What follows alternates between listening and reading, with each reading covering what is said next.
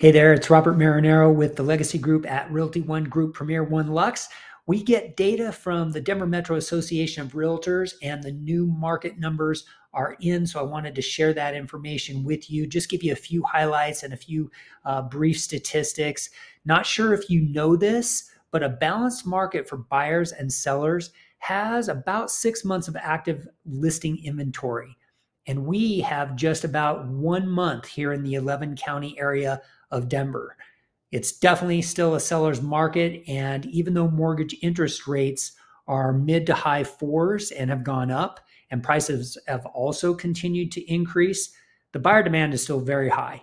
Active listing inventory for all price categories combined, though still low, has gone up just over 81% from last month. And the average days in the MLS have gone down to 11 days. So homes are selling pretty quickly. The average close price has also gone up to over 705,000 in the Denver metro area. Many homes are still getting multiple offers though and are selling quickly with many above asking uh, in each of the four segments of the market, which include the luxury, the signature, the premier, and the classic markets. All of these markets saw increases in the number of active listings, uh, the closed deals, and the volume. And price per square foot was also higher, except in the signature market, uh, which saw a slight decrease.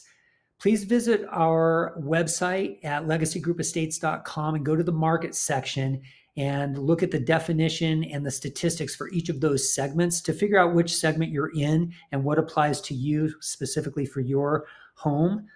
I hope this was helpful. Uh, please let us know if you have any questions about your specific situation or your home. And if you know anyone who's looking to buy or sell, we would appreciate the referrals as always. Thanks for watching. I hope you enjoyed the newsletter content and have a great rest of your day.